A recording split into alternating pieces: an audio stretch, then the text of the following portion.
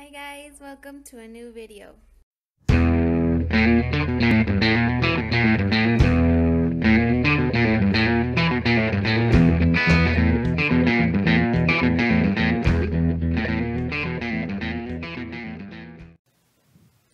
Today is Wednesday, May 27th, and we're going to be working on grammar. And the topic of the day is compound sentences with and, but, and or. Vamos a estar trabajando oraciones compuestas con las palabras and, but y la palabra or. A simple sentence has a subject and a verb. It expresses a complete thought. Nos dice que un enunciado simple está conformado por un sujeto y un verbo y te expresan un pensamiento completo. Here is an example. Hector found a moon tree. Another sentence would be, he ran to get his friend Stuart. Aquí te presento dos enunciados. Cada uno está conformado por un sujeto y un verbo.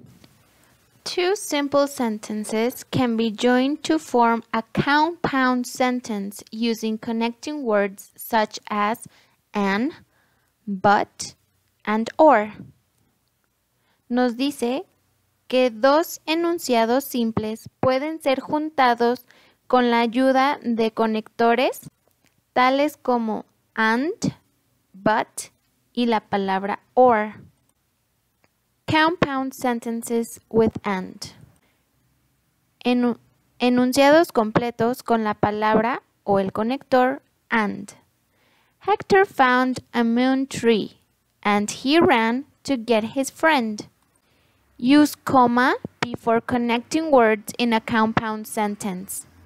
Aquí te presento cómo juntaríamos dos enunciados. Si te fijas, el enunciado que conectamos fueron los del el ejemplo anterior.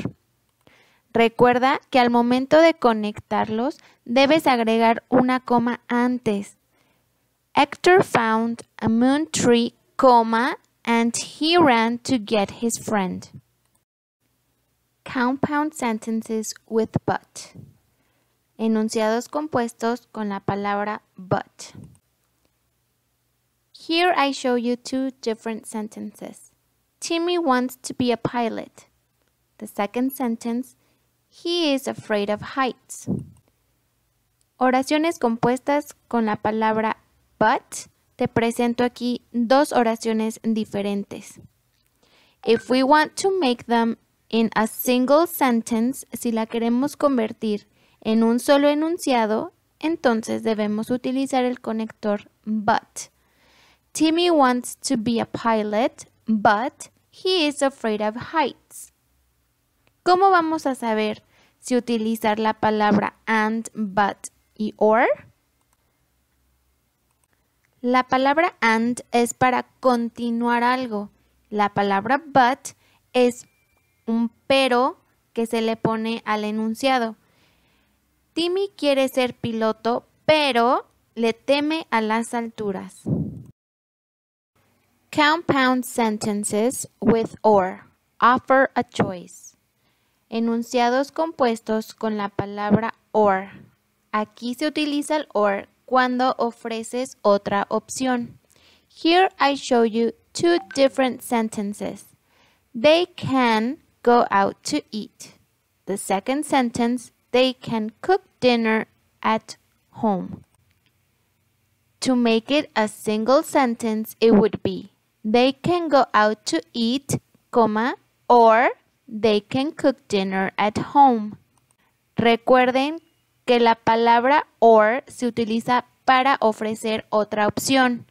Ellos pueden ir a comer o pueden hacer la comida en casa. Once you have that understood, please open your cornerstones on page 335 and we're going to do practice A. I'm going to help you to do number 2 and then by yourself you're going to answer number 3 and number 4.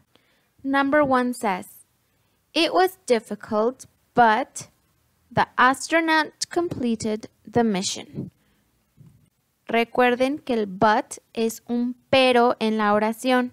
Fue difícil, pero el astronauta completó la misión. Number two. You would stay at my house tonight. Blank. You could stay at a hotel. You could stay at my house tonight. And the answer is or you could stay at a hotel. Recuerden, la palabra or es para ofrecer otra opción. Te puedes quedar en mi casa esta noche o te puedes quedar en un hotel. Ahora tienes las herramientas para realizar la número 3 y 4. Once you are finished with practice A, then please open your workbook on page 200. Once you are there, we're going to answer number 1, number 2, number 3, and number 4 together so you can do number 5, 6, and 7 by yourself. Remember, you're going to add an, but, and or. Vas a agregar las palabras and, but y or según corresponda. Number 1. Mary went shopping. She brought and she bought a new dress. The answer is Mary went shopping, comma, and she bought a new dress. Recuerden que la palabra and es para una continuación. Mary compró, Mary fue de compras y compró un vestido. Number two, Jake wants to be a doctor. He doesn't like to study. The answer would be Jake wants to be a doctor, comma, but he doesn't like to study. Recuerden que la palabra but es un pero en la oración. Jake quiere ser un doctor, pero no le gusta estudiar. Number three. The man want, walked in the store. He asked for a sandwich. The answer would be The man walked into the store, comma, and he asked for a sandwich. Recuerden, la palabra and es una continuación. El hombre caminó adentro de la tienda y pidió un sándwich. Number four, you can buy it in a store. You can buy it online. The answer would be you can buy it in the store, or you can buy it online. Recuerda, la palabra or es para ofrecer otra opción. Tú puedes comprarlo en la tienda o puedes comprarlo en línea. Ahora tienes las herramientas para contestar las 5, 6 y 7 tú solito.